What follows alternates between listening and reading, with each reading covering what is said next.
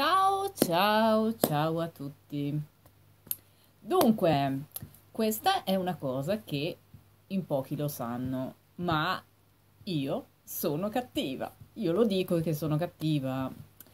Comunque sono ancora più cattiva di quello che potreste pensare.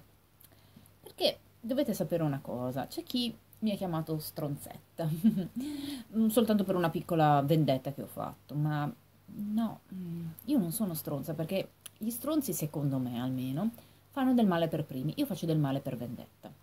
Quindi lui mi aveva trattato molto male e io l'ho sistemato.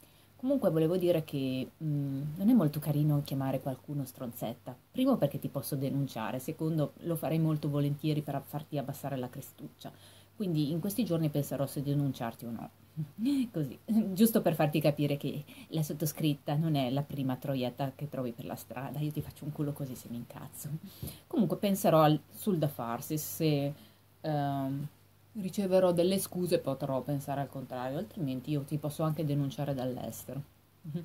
e tra l'altro diciamo che ho avuto dei problemi all'inizio quando sono venuta qua in Germania e Uh, mia madre non lo sa, lo saprà da questo video, sono andata dalla polizia, ho denunciato una persona e ho fatto molto bene a farlo, non ci sono state conseguenze, ciao mamma sono ancora qui.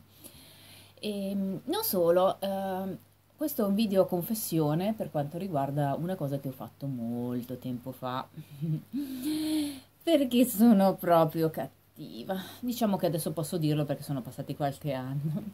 Uh, c'era stata una persona che si era comportata molto male con me, un americano, Solo che non aveva fatto i conti sul mio tipo di carattere. Io mh, mm, in quel periodo stavo finendo il dottorato, quindi lui ha pensato di mollarmi un mese prima di finire il dottorato.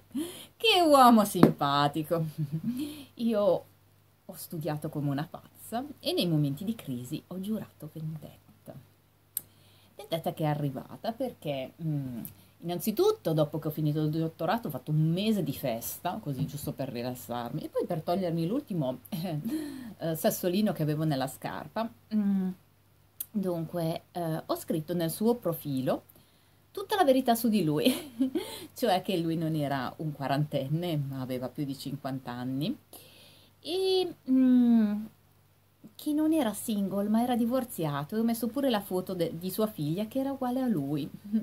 Perché io non ho come dire il senso della sconfitta. Io odio perdere. Delle volte posso anche perdere però se posso metterla in culo sono molto più contenta.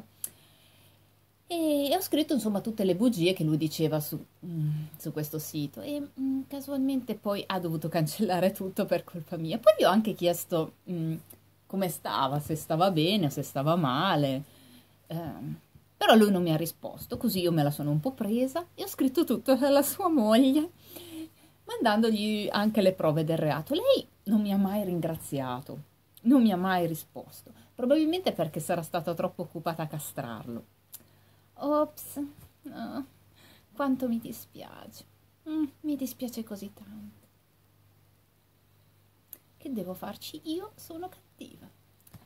E poi dopo tutto, io come maestra di vita ho la, ho la diva del tubo, per cui che devo farci? Mm, statemi bene ragazzi.